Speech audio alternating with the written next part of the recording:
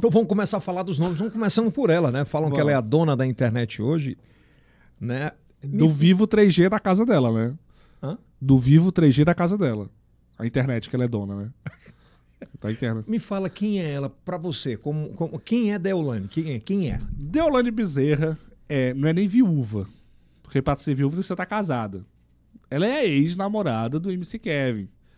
Aquele rapaz que morreu em um trágico acidente, em circunstâncias duvidosas. Duvidosas por quê? Porque ele tava traindo ela, né? Tinha uso ali de entorpecente no meio da história e tal.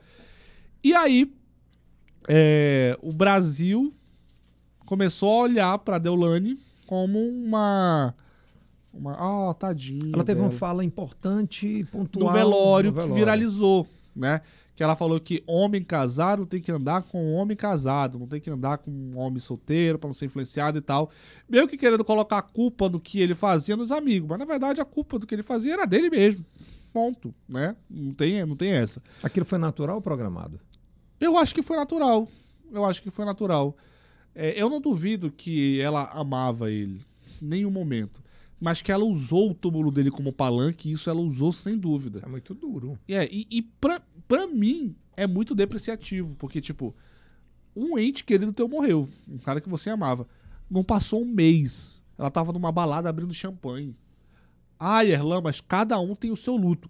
Concordo, realmente cada um tem o seu luto. tem seu- Mas aí ela abre champanhe no dia seguinte. Ai, o Kevin, eu não sei o quê. Foi aí que começou a me dar um, Como é que você virou pra esse lado? Olhou assim, disse, peraí. tem algo errado. Tem algo errado. Tem algo muito errado nessa história. Não que ela tenha culpa da morte, alguma coisa, Aham. mas é por, por, por- por usar a morte pra. Ah, no dia.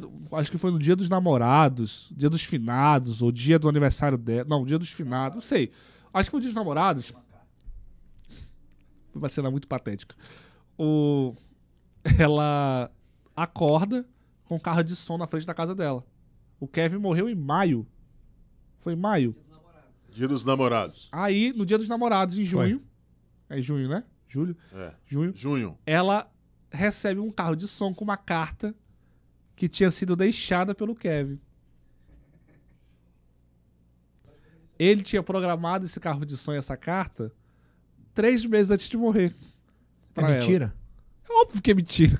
óbvio que era Lógico que é mentira. Só que aí causa aquela. Nossa, que profundo. Um cara morreu, mas ele deixou. Então, foi desses pequenos Cara, eu, sou, factoides. eu sou leigo, eu quero te perguntar isso que você conhece. Mas vamos lá, ela era muito bem de vida, eles eram muito bem de vida, porque hoje você porta toda hora é, é roupa, look de tanto. Não, não era bem de vida, até porque ela se apresentou doutora por, por ser advogada, mas ela não tatuou em nenhum, nenhum, nenhum grande caso, sabe? Ela, Achava que ela era milionária. não, é advogada de porta de cadeia, fica liberando batedor de carteira, essas coisas assim. Não depreciando, né? Claro. Muito pelo contrário, mas não é, não é um, uma advogada que ganha milhões e representa, sabe? Putz, eu achava que ela era milionária, velho. Não. Inclusive, a Receita Até Federal tem que porque- ficar até de olho nisso, viu? Como é? É, A Receita Federal tem que ter... eu, eu fiz uma denúncia na, na Receita Federal contra a Deolane porque ela apareceu no, no, no, no- no- Um numa loja numa loja? que ela tirou 70 mil reais em dinheiro vivo pra fazer uma compra. Peraí, tem alguma coisa errada nessa história. Quem anda com dinheiro vivo assim? A gente sabe quem é que anda com dinheiro vivo assim. Aí o cara vai falar assim: ah, o Erlan tá com inveja dela. Inveja nada, gente. Ó, Você recebe muito direct desse?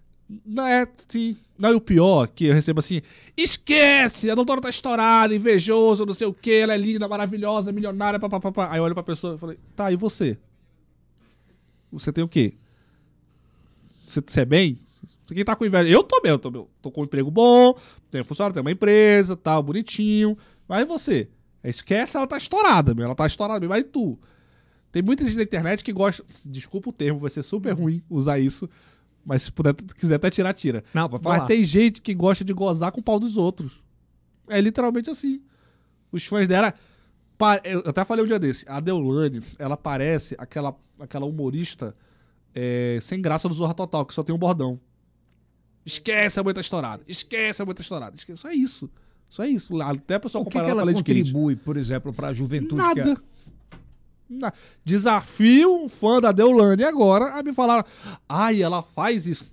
fica ostentando na rede social, fica é, é, é, promovendo, é, como é que é? Um aniversário que custou 4 milhões. Eu vou fazer uma festa de aniversário, a minha festa de aniversário que eu vou fazer vai ser dentro de uma comunidade. Eu vou montar um palco, eu vou trazer atração, etc e tal, mas eu não vou mentir dizendo que ela foi 2 milhões de reais. Porque coloca meia dúzia de salgado, um um champanhe. E aquela festa foi 4 milhões? Claro que não. Óbvio que não. Não foi.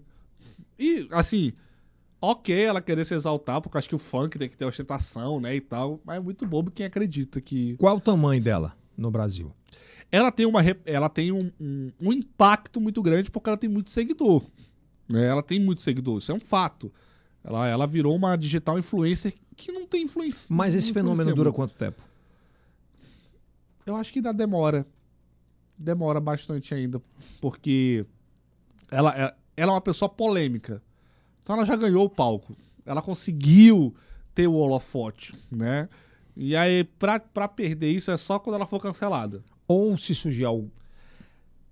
No dia que a Deolane for cancelada, não vai ser um cancelamento bobo, não. Vai ser um cancelamento, assim, violento. Ela tem que estar Gigantesco. preparada para Gigantesco. isso? Eu acho que ela tá se preparando. Você fala que o Léo Dias frequenta a casa dela e tal. Outros jornalistas também dizem que até o Bate frequenta a casa dela. Não, o Bate já postou que- histórias com ela e etc e tal.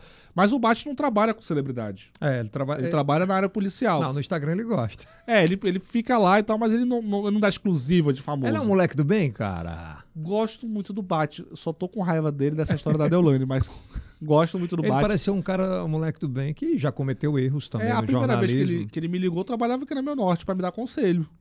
Eu nem acreditei na primeira vez que eu tava falando com ele no Ah. telefone.